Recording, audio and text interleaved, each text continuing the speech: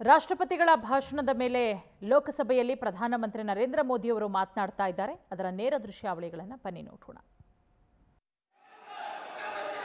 उन्होंने अपने विचारों से इस डिबेट को और अधिक मूल्यवान बनाया है आदरणीय सभापति जी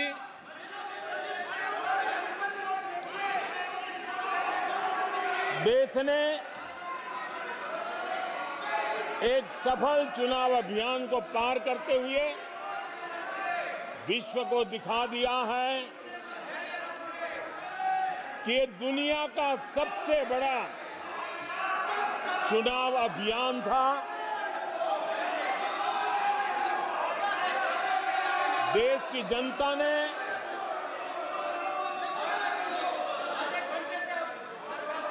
दुनिया के सबसे बड़े चुनाव अभियान में जनता ने हमें चुना है और आदरणीय सभापति जी, मैं कुछ लोगों की पीड़ा समझ सकता हूँ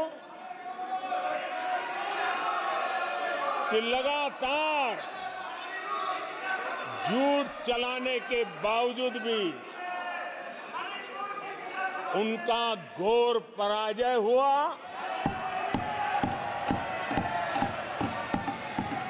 और लोकतंत्र के माननीय माननीय प्रतिपक्ष के नेता माननीय प्रतिपक्ष के नेता, ये शोभा नहीं देता आपको।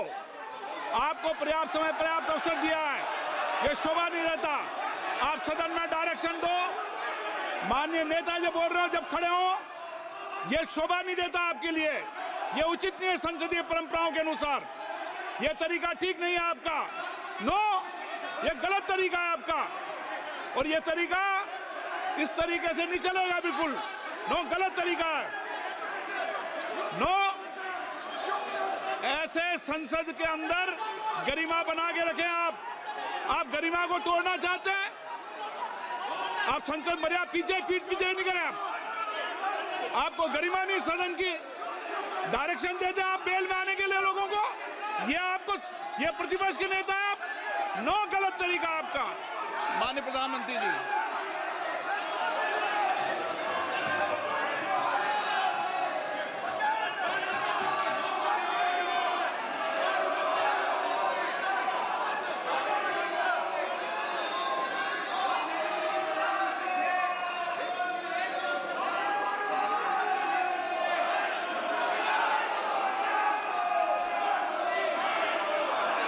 आदरणीय सभापति जी,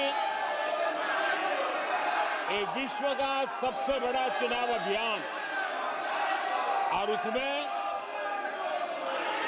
भारत की जनता ने हमें तीसरी बार देश की सेवा करने का मौका दिया है।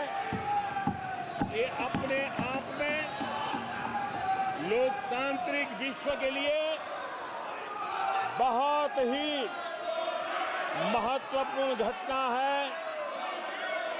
बहुत ही गौरवपूर्ण घटना है। आदरणीय सभापति जी, हमें हर कसौटी पर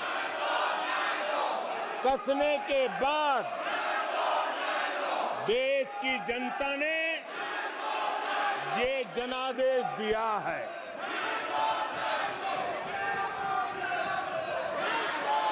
जनता ने हमारे 10 साल के ट्रैक रिकॉर्ड को देखा है।